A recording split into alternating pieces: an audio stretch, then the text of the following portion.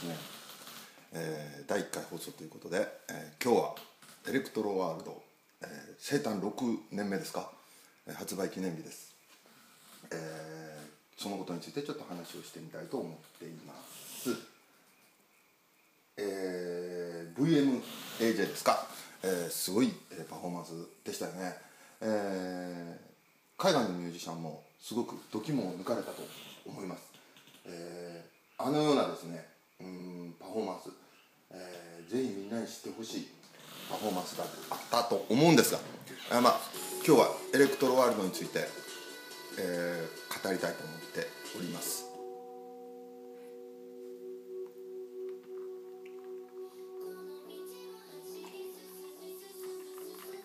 えー、っとエレクトロワールド。えー、っとポリリズム。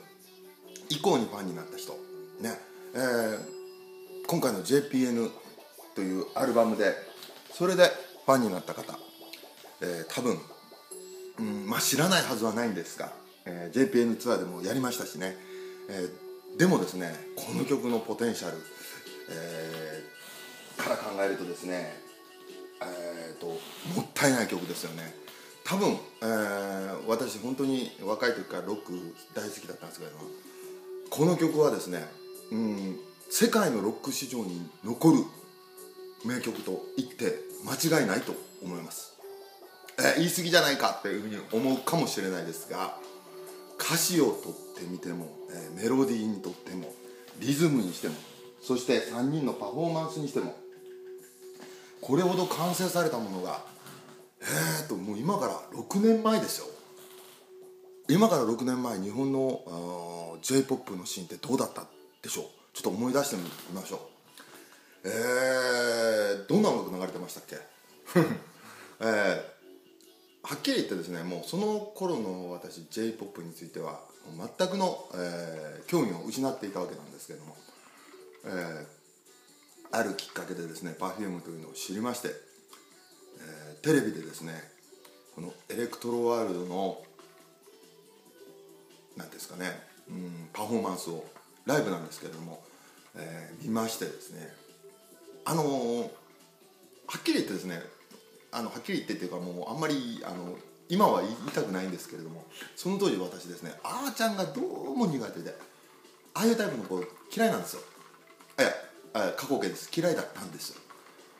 あ苦手って言った方がいいですかね。うんと明るくてねクラスの人気者なんでしょうけれどもまあ今から考えるとですねきっと本当に崖っぷちであり、えー、ポリリズムで掴んだチャンスを本当に精一杯なんとかつなぎ止めようという自分のキャラクター以上のことをやってたんだなって今思うんですよね。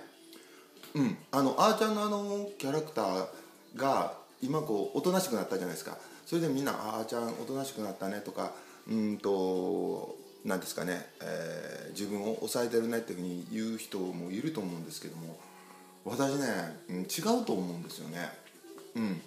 あの彼女はもともとそういう今のあーちゃんみたいな性格本当にちょっとしたことがあってもあの傷つき、えー、感情を表に出してあのポジティブにポジティブに心の粒子を粒子をなんてことを言ってますけどもそう言うっていうことは実はそうではないっていうことだと思うんですよ。で、えー、B5 ですか？の中でうん泣いていた映像が残ってますよね、うん、あれが本当のあーちゃんだったと思うんですよ。でもうんといろんな期待を背負いそして、えー、ノッチとカシウカという2人の戦友と、えー、戦う。そんな中でですねあーちゃんは自分の役割っていうのを、感じていたんではないかなと。だからうんと何ですかねあのおバカキャラとかバカみたいなことをものすごく頑張ってやってたんじゃないかなと今は思うんですね。あでエレクトロワールドなんですがあのその苦手だったんですけども実はそのライブ映像でエレクトロワールドのあのあーちゃんがですね画面に向かってパンチを繰り出すシーンあるじゃないですか。ああっていうところ。そこでねあの私気にあーちゃんの絵のなんですか偏見っていうかなんですか苦手意識が消えたんですよ。これもねあの今から考えるとすごいことでねすごいことだねって自分で勝手に言ってるんですけど。も、えー、何が、えー、そう思ったのかって、うん、分析はちょっとしてもわからないんですけども。そのパフォーマンスをしているあーちゃんは別人だったんですよ。あのー、なんて言うんですかね。その司会者に対する答え受け答えであったりあのちょっととぼけてみせたりそれこそこうバカなことを言ったりっていうのと別人だったんですよね。ものすごいそのパフォーマンスに集中していると。でそして全身全霊を込めてその表現しようとしていると。もちろんノッチも歌集家も。このエレクトロワールドの表情。素晴らしいですよね。であ一番最初の話に戻りたいと思うんですがこの曲、えー、ものすごくポテンシャルを持っていると。ある意味ポリリズムよりもパフ Perfume っていうのを変えた曲ではないかなっていうふうに私は思っています、えー、メジャーデビューであるリニアモーターガール。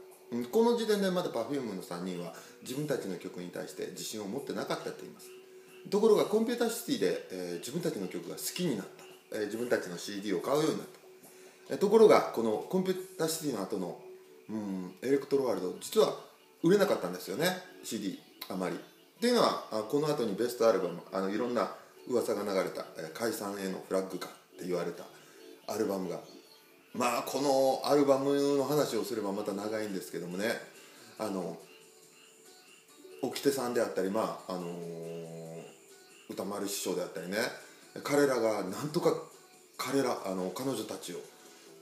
支えなければっていうふうに行動したのと同じようにあの私ブログで知り合った人もですねあのこの当時、えーと、ファンだったんだけども私アルバム10枚買いましたと。俺アルバム15枚買ったよ。うんバカみたいな話なんでしょう。でもそう思わせる何かを持っていた。彼女たちですね。もちろんそれまでの活動とかもあるんでしょうけども私ねこの「エレクトロワールド」っていう曲のポテンシャルがすごかったと思うんですよ。えーと、これがね例えばそのリニアモーターガール、うん、いや私好きですよ。でもリニアモーターガールみたいなコンセプトが非常に強い曲であってえー、その後のコンピューターシティこれも名曲です、えー、その後にあダメだね近未来三部作って言ってもやっぱりもっと恋愛について歌わなきゃっていう感じでなんとなくこう、えー、ロボットとの恋愛みたいなね、えー、ものをもうちょっとこう出したものであったり、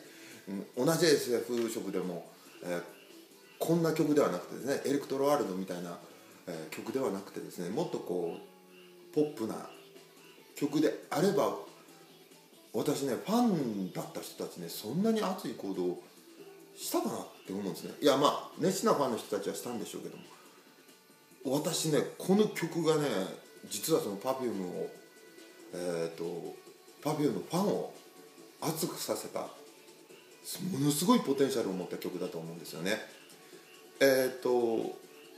すごく古い区からの Perfume のファンの人がいて、うん、話を伺ったんですけど。もまあ、オールドさんっていうんですけれども、えーと、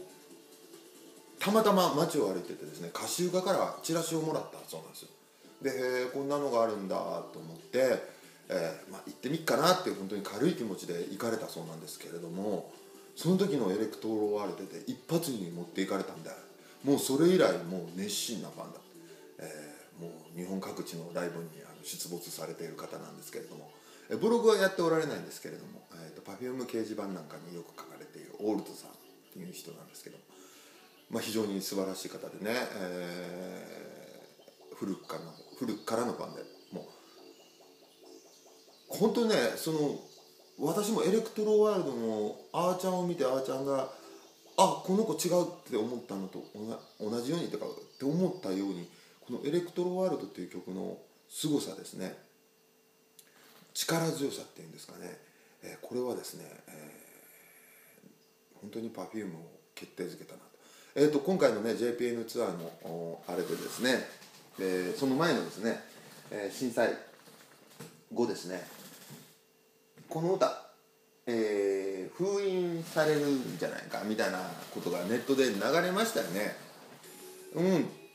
そんなん全然こう見当違いでね確かに地面が崩れ落ちたみたいな表現があるんですけどもこれは、えー再生の歌なんですよね、うん、歌詞をよく聴けば分かるというか、まあ、よく聞かなくても分かるんですけれどもね、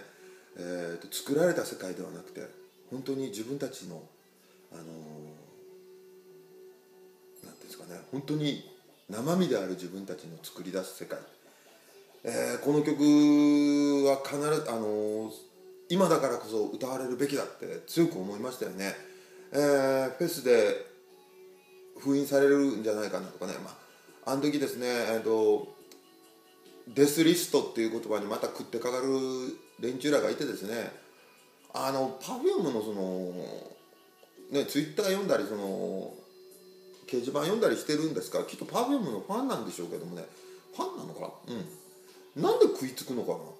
な？デスリストって。でもあのちゃんと PTA なんかではねあの自分たちにものすごい過酷な本当死にそうなぐらいの攻め攻めの曲でいくよっていう意味でのデスリストなんですよってちゃんと書いてあるのにね。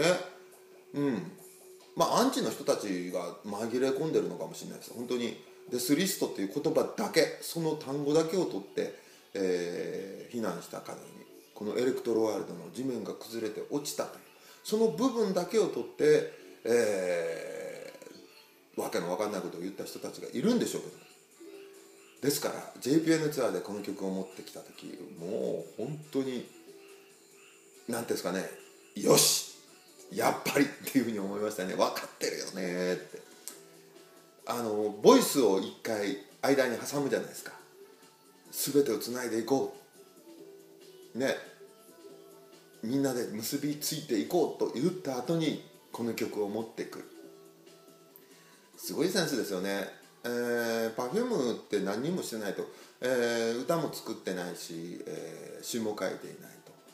いうふうによく言いますけども彼女ら自身が。でもね Perfume って、えーセットリスト自分たちなんですよね。そして美紀子先生と相談してですねどんなふうにしていくかって相談してるわけですよね。十分なアーティストですよ。あの今回の JPN でですねあそこに、えこのエレクトロワールドを持ってきた意味。ものすごく彼女たちは考えてるし分かってるし伝えたいことがいっぱいあるし。ということですね。えー、と話が長くなってしまいましたけどこの JPN でもやられたエレクトロワールド、えー今回ですね、えー6年目を迎えたんですけど私ね再リリースしてほしいですね。うんとそのまんまでいいです、えー、とバージョンも。もう一度シングルをですね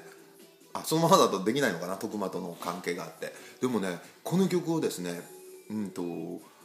う一度シングルとして発売してほしいですね。う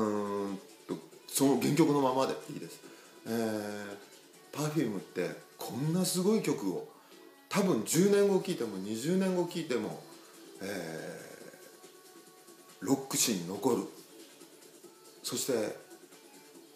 いつこのパフォーマンスをしても人の心に訴える力を持っているエレクトロワールド、えーぜひ、うん、6年後今聴いても最高の音楽ですよね、えー10年後20年後どんな風に聞こえるか楽しみですよね。ということで、えー長々と話しましたけれども、